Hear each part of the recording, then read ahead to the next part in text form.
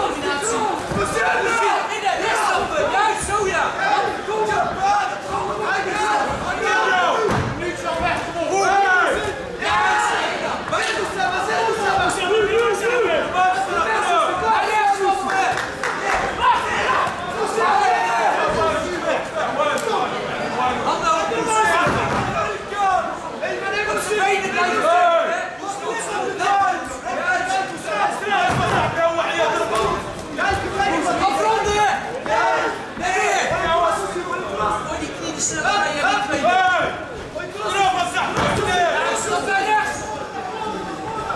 tegen de Russen!